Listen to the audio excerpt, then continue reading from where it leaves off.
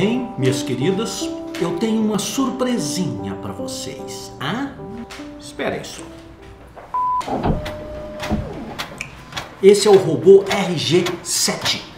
Trata-se de um robô de última tecnologia que eu comprei de presente para vocês duas durante essa minha viagem que eu estive pela Europa.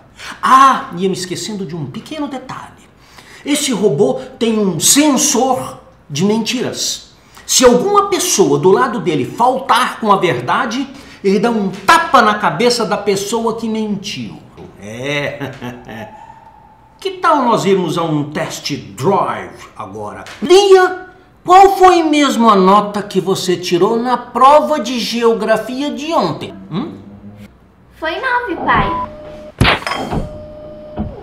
Tá bom, foi cinco.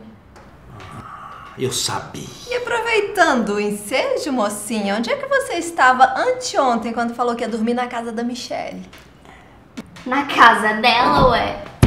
Ai!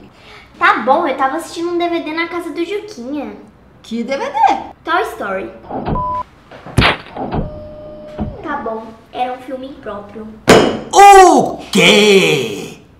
Pois fique você sabendo, mocinha, que quando eu tinha sua idade eu nem sabia o que era um filme impróprio. Era mesmo sua filha, viu?